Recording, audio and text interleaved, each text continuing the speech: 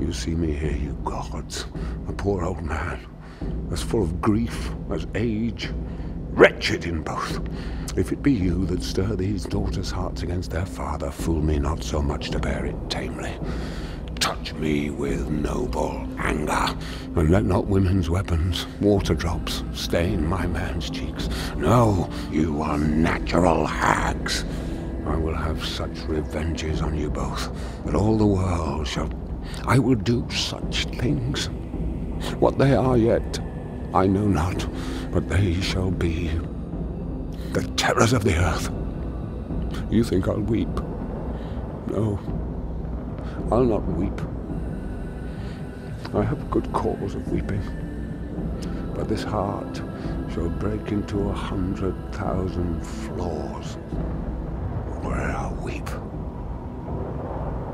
Oh, fool. I shall go mad.